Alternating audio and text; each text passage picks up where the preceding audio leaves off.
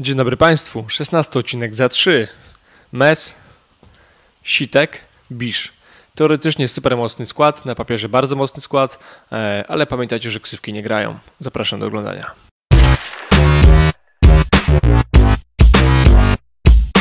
W 2014 roku e, Soku postawił na Sitka skrzynkę łychy.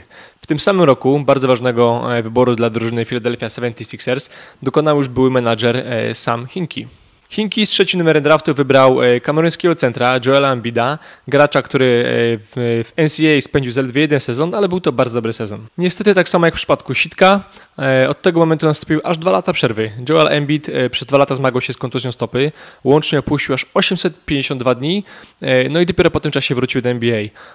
Podczas tego okresu jedyne co mogli zrobić fani, 70, fani Joela, fani 76ers, to tak naprawdę czekać na raporty medyczne i jakieś highlighty z treningów. Te highlighty pojawiły się we wrześniu tego roku, e, mniej więcej w tym samym czasie, kiedy pojawił się single Sitka Chcemy być wyżej. E, kiedy zobaczyłem obydwa, e, wiedziałem, że oboje, zarówno Joel, jak i Sitek są przekurewsko gotowi do swojego debiutu. Chcę kilka koło na szyi, parę koła na twarzy Czemu wiozę się pomału, żebyś zauważył, tak. Mobilizuję siebie jak mogę, nie mieliśmy nic, teraz to zbieramy na potem. Traktuję problem jak Szymonara Szymonara, Szymonara Chcę skakać z jachtu i pić szampana. Pić szampana tytułowy wielki sen Joela i Sitka właśnie się zmaterializował. E, debiutancki sezon e, Joela jest póki co świetny, gracz z meczu na mecz jest coraz lepszy. Już dziś wszyscy chcą mu wręczać nagrodę Rookie of the Year, e, bo tak naprawdę nie ma żadnej konkurencji, a jakim miał, to stawił ją daleko w tyle. Styl obydwu zawodników jest niesamowicie hustlerski. Obydwaj emanują ogromną pewnością siebie. Mam wrażenie również, że Sitek bardzo mocno dojrzał do tego debiutu. Mimo powszechnej opinii, że jest leniem, że tak naprawdę mm, przespał ostatnie lata, to mam wrażenie, że on na tą płytę bardzo mocno zapracował. No w kilku momentach słyszymy mimo wszystko, jaka presja na nim była, jaka presja na nim ciążyła, jak ciężko było mu nagrywać. E, Sitek mimo wszystko utrzymał e, poziom, który pokazywał na klipach. E, raper nie ugiął się pod presją, spełnił oczekiwania. E, mam nadzieję, że dzięki tej płycie powietrze zejdzie i na następną płytę nie będziemy czekać już tak długo. Trzymam e, kciuki za obydwu gości, bo tak naprawdę e, są z nami od dawna, a praktycznie dopiero się zdomawiają. Sitek Wielkie Sny, debiut, który w 100% spełni pokładane w nim nadzieję. Polecam. Nienawidzą mnie, bo z biegu muszą zwalniać mi miejsce i mogę wracać po dwóch latach i tak ciągle mam pierwsze, co? Zasiedziałeś się? Typie nie wiedziałeś? Nie, nie uwierzę po ostatnim klipie, wiem, że sprawdzasz grę. Czym jest kurwa tutaj follow-up?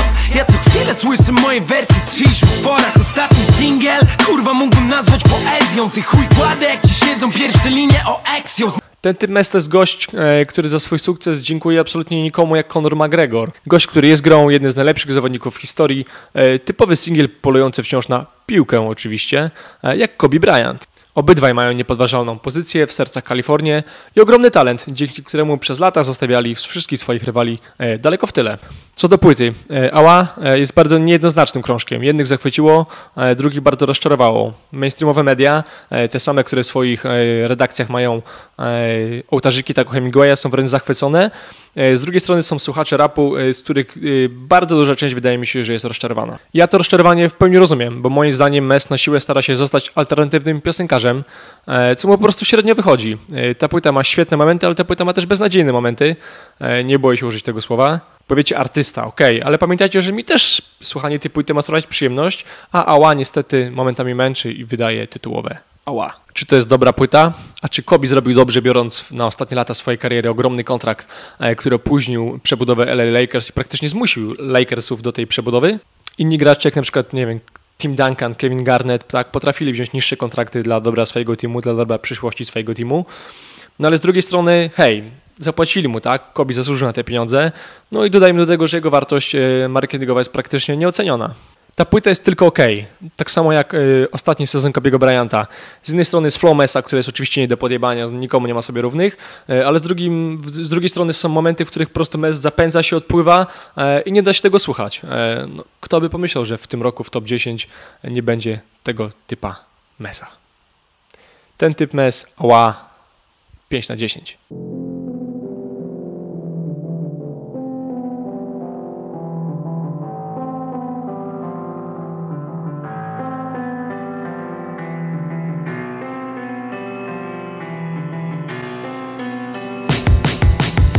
60 płyta, uwierz to jest dla mnie przełom. Połknąłem kurwę, lecz wypluwam, chcesz to kurwa przełącz. Moje wytwórni, gdzie solidność to codzienność.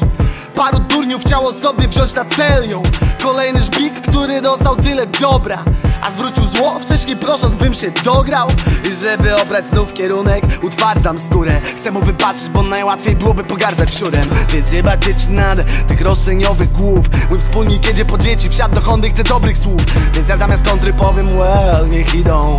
Ty jesteś tak uczciwy, że Tinder swata cię tylko z tym idą Bisz i wilczy humor. E, niestety, mimo kilku prób, e, tylko chyba raz udało mi się przesłuchać tę płytę do końca na Tidal. Tytułowy wilczy humor to dobry żart, e, bo na nowej płycie e, Bisza nie znajdziecie drzemiącego w nim wilka. Bisz totalnie zmienił klimat. I byłoby ok, gdyby to się skończyło na tym singlu Potlatch, który jest naprawdę fajny, e, ale problem w tym, że reszta płyty jest taka sama i to jest klimat, w którym ja się totalnie nie odnajduję. To jest podobny problem co u Mesa. E, Bisz wziął kolegę z gitarą, pojechał niezaproszony na openera, stanął gdzieś tam z boku, zaczął grać i wołać do ludzi hej, patrzcie na mnie, też jestem fajny, kupcie moją płytę.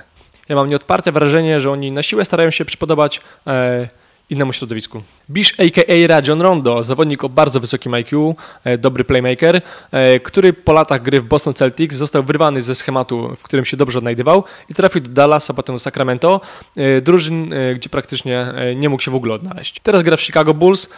Okej, Chicago gra lepiej niż wszyscy zakładali, ale mimo wszystko nie ma w tym zbyt dużej zasługi Rajona Rondo. Bishowi oczywiście nie życzy źle, jest świetnym raperem i mega inteligentnym gościem.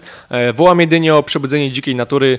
Szkoda, żeby polski rap miał stracić tak charyzmatyczną postać. Płyta nie trafiona.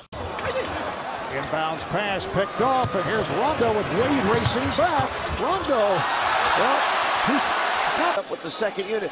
He sees Wade. He looked over his left shoulder, and instead of going up strong, Słuchajcie, planowałem zrobić konkurs, ale tym razem będzie inaczej. E, Na Facebooku i Instagramie całkowicie niezobowiązująco zapytałem Was o to, jak myślicie, jakim graczem będzie Sitek. Trzech z Was trafiło. Jako pierwszy zrobił to e, kolega o niku Max Shit. E, Max z Gorzowa, odezwij się na Instagramie, płyta Sitka leci do Ciebie. Dzięki i zapraszam do subskrybowania kanału.